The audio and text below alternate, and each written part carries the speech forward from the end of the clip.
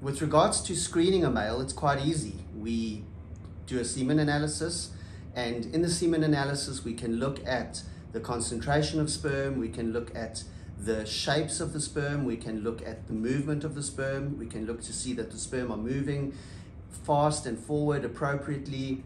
There are other tests that we can do on the sperm which looks at the sperm's ability to fertilize the egg. Depending on what we see on a, on a man's semen analysis, there are numerous different treatments for male infertility. Sometimes a guy will have low sperm counts. Sometimes the shapes of the sperm will be abnormal. And in some cases, the sperm are just not moving appropriately. Depending on the problem, there are different kinds of treatments.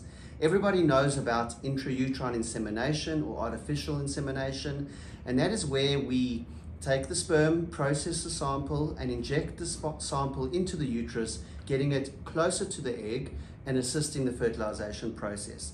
This is a treatment that is offered with mild male factor infertility, but it doesn't treat men with severe male factor infertility. So men who have really, really low sperm counts, really poor motility in their sperm cannot be treated with artificial insemination. They need to be treated with IVF and a specific kind of IVF where we assist the fertilization by injecting a sperm into the egg. This is a procedure called ICSI. Sometimes we find that men have no sperm at all. And there's different causes for uh, this condition called azoospermia. But there are also treatments for men with azoospermia. Sometimes the testicles are not producing sperm because the hormones from the brain, which encourage the testicles to work, are not functioning. And by replacing those hormones, this, the testicle starts to produce sperm. Sometimes there may be an obstruction that the testicles are making sperm, but the sperm is not getting into the ejaculate. And that way we treat by retrieving sperm directly from the testicles.